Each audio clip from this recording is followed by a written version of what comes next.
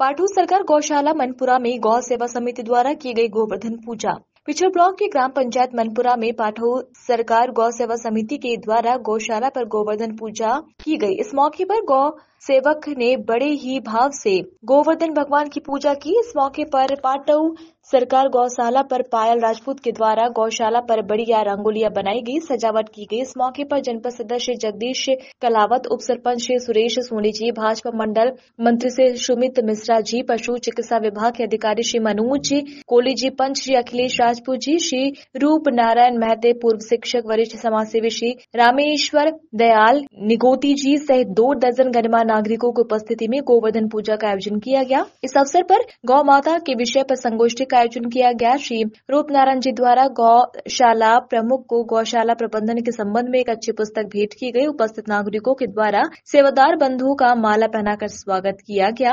इस अवसर पर आगामी कार्य योजना पर चर्चा की गई।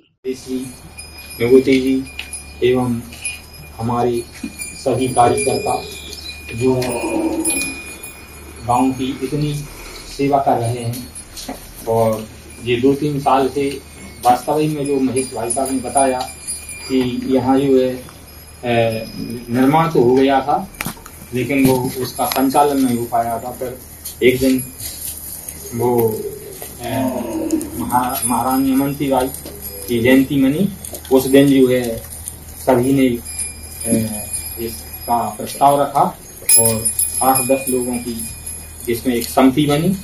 समिति बन करके उसमें जो है, दो सेक्रेटरी और सरपंच भी अध्यक्ष और मंत्री रहते हैं और दस लोग महेश उनके अध्यक्ष हैं और अखिलेश सहायक उपाध्यक्ष हैं।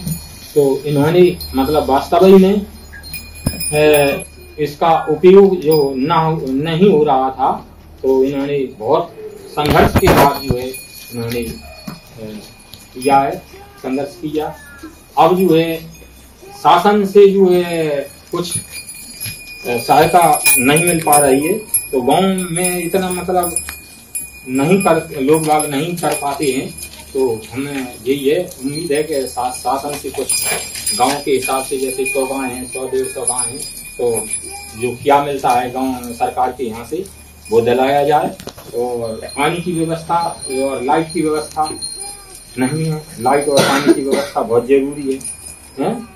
क्योंकि अब पानी गाँव को नहीं अभी तो भरा हुआ है और मतलब ये तालाब सूख जाएगा तालाब थोड़ी है वो तो एक वैसा चेक डैम तरह का है पोखर तरह का तो वास्तव में आप कहाँ तक ले जाएँगे? यहाँ पर कोई आसपास कोई तालाब भी नहीं है। या तो बोर हो, हो जाए या मतलब कहीं से या पास के कहीं से मतलब बोर होकर के यहाँ मतलब लेजम डर जाए जिससे मतलब बार बार सरपंच साहब से ना कहना पड़े।